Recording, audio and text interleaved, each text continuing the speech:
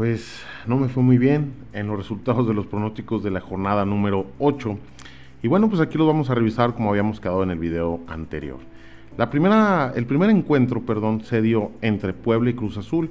Y la verdad yo pensaba que, digo, creo que es obvio que tiene mucho mejor nivel la máquina que el Puebla, quien está en los últimos lugares de la tabla. Pero bueno, este, pues no simplemente nos hicieron daño, 0 por 0.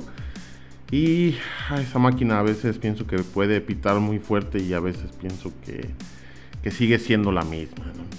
El siguiente resultado fue entre, entre el Atlas y el Tigres de la Autónoma de Nuevo León, pero bueno, como todo el mundo sabe, eh, pues el Atlas nos sorprendió a todos.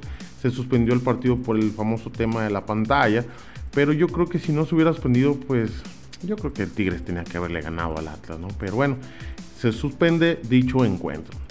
El siguiente encuentro fue entre Lobos Guap y Morelia. Yo sé que el Morelia estaba jugando bien, pero pues yo creo que yo creía más bien que Lobos Guap podía pues despertar, ¿no? Pero sin embargo, bueno, pues cae el Lobos Guap 3 a 1 contra el Morelia.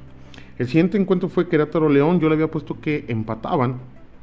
Eh, pero no, el León dijo otra cosa, le gana 2 a 1 al Querétaro. El siguiente encuentro fue entre Monterrey y Necaxa y bueno, este sí la atiné. Muchos podrían decir, no, pues ya sería absurdo que no le hubieras atinado este resultado. Bueno, pero aún así llama la atención porque el Monterrey gana por la mínima diferencia de 1 a 0 a los rayos del Necaxa. El siguiente encuentro fue entre Pachuca y Chivas y yo creo que este fue uno de los resultados más sorpresivos, inclusive para mismos seguidores de Chivas, que yo estoy seguro que no pensaban que fueran a ganar o por lo menos no con ese marcador. Chivas va y le gana a su casa a los Tuzos por el marcador de 3 a 1. La verdad sí me sorprendió. El siguiente encuentro bueno pues fue entre América y Veracruz. El América como lo dije en el video anterior este, está jugando bien y yo creo que el resultado era de esperarse. Ganó cómodamente con un marcador de 2 por 0. El siguiente encuentro fue entre Pumas y Tijuana y este resultado como lo dije también ah, pues yo me la jugaba, me la jugaba por Pumas que yo sé que anda muy mal pero yo sí esperaba que pudiera la sorpresa, ¿no? El fútbol mexicano sí es el, más débil o el que menos esperas, pues tiene altas posibilidades de ganarle a otro. Y bueno, pues el Pumas cae 2 por 0 entre los Cholos de Tijuana.